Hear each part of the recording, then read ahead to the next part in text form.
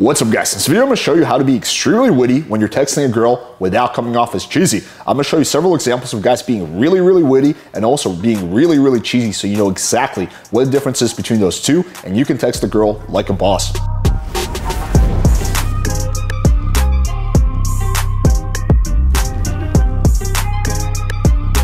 Right, so we're gonna start off by taking a look at what extremely cheesy text game looks like so you guys know exactly what not to do. But make sure you guys watch until the very end because you're gonna see some of the wittiest texting ever and you don't wanna miss that. All right, let's get started. So this is gonna be one screenshot. The guy's, the girl's name is Moo and the guy's like, I like your style, it moves me. So he's making a play on words. She's like, is that supposed to be a joke? He's like, yeah, because your name's Moo, don't worry about it. So anytime you have to explain what your joke is, you know that you're being cheesy, not witty. She's like, lol, horrible joke. And I agree with that. So again, part of wittiness and cheesiness is humor, right? The difference is that when you're witty, the jokes are actually funny, and when you're cheesy, the jokes are not funny. They're very corny. There's something that the girl has heard a thousand times. So the real litmus test is okay, if you were to tell your friends this joke, or if you were to show this to your friends on the internet, would they find this funny? Well, no, because it's like the lowest common denominator of humor. It's like literally the lamest play on words ever that she's heard a thousand times. So your friends wouldn't find this funny, so therefore the girl's not gonna find it funny. Therefore, it's probably gonna be in the cheesy category. Let's move on.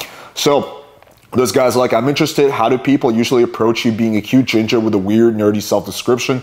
I'm assuming he's referencing her bio. She's like, Are we neighbors? I don't know. We can try that singing across our balconies thing and try to find each other like that.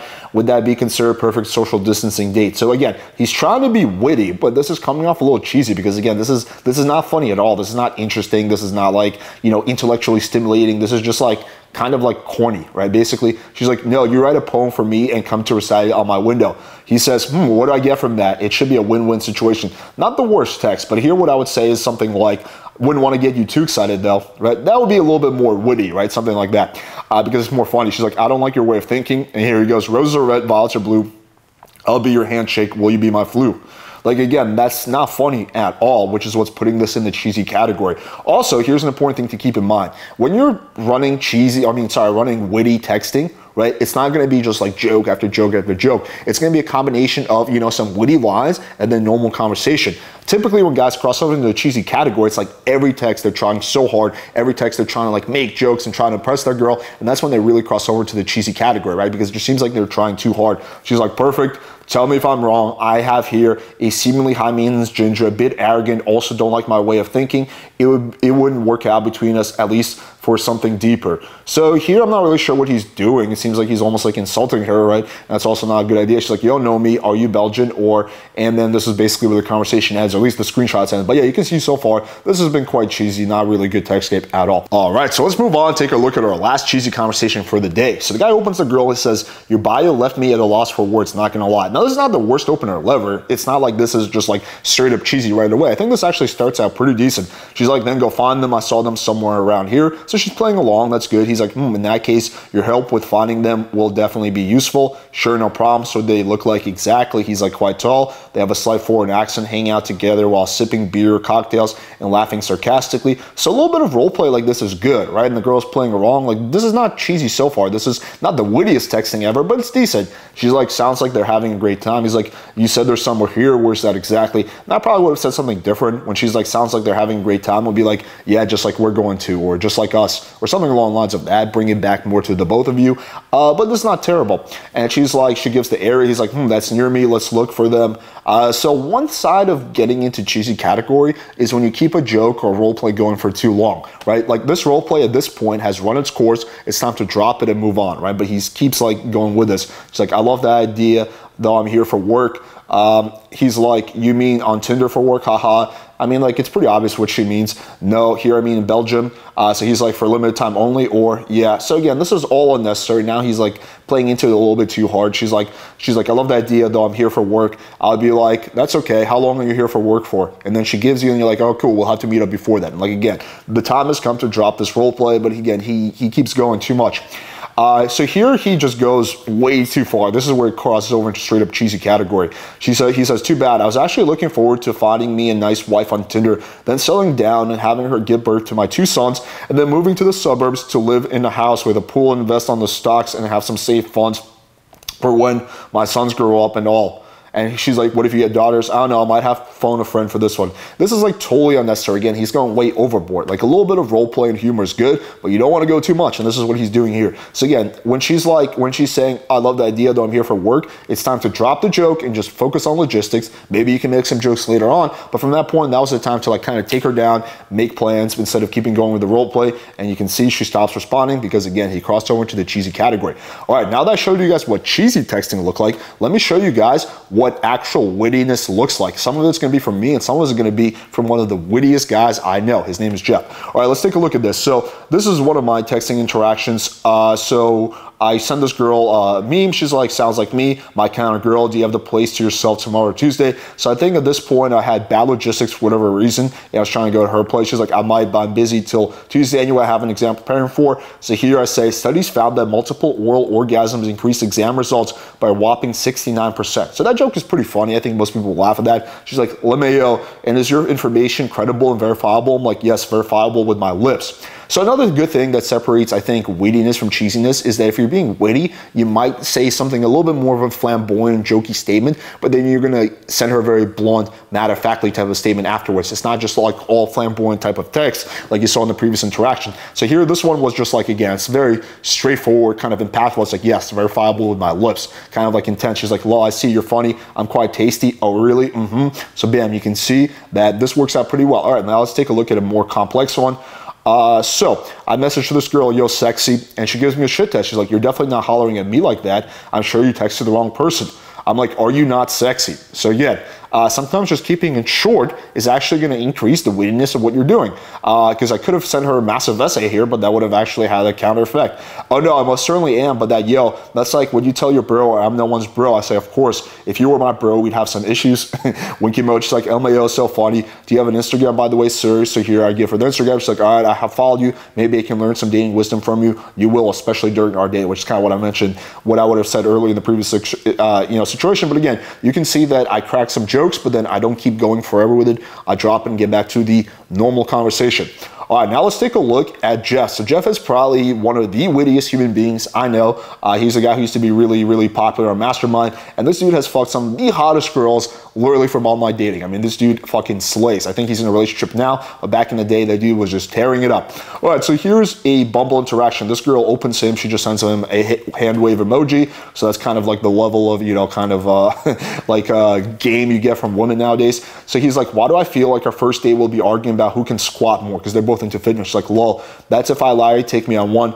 Well, you did already follow me on IG, so we're like 50% there. So again, he's being he's not being super funny, but this is fairly witty. She's like, lol, true. I like your IG page. Looks like you really hustle and like to look down a lot, right? So he combines being serious with humor. It's like, looks like you really like to hustle. And then he makes the joke, and you like to look down a lot. That's also good. You don't want just to be jokes, jokes, jokes. She's like something about that floor. You got a very sexy top of your head. I never would have realized otherwise. So he's again, he's playing along. I just want everyone to know that. Are you always that thoughtful? I am actually. So remember to get me a card on my birthday. I'd even get you a gift if you were nice enough. Ooh, what kind of gift would it be? So also he's not sticking to just one role play, right? He's kind of moving the conversation around so it doesn't get stale.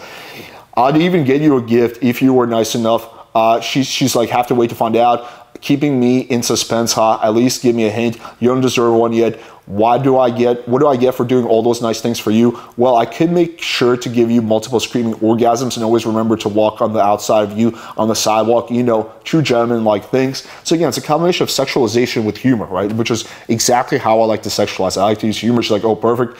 Now, can you tell me what gift you get me? She's like, nope. Uh, she's like, nope. What are your reasons for being on Bumble? His name. She's like, he's like, to meet a cool girl like you who has a sense of humor and hopefully similar interests. Perfect. So when are we getting married? What are you thinking? Destination or traditional destination? We should probably get together to discuss our future. What's your number? How probably should number and bam. So this is a good one. He wanted meeting up and hooking up with her, right? Again, so this is a good combination of being witty while not being too out there and keeping the conversation moving, not getting too stuck on one joke, and actually having your jokes kind of land, right?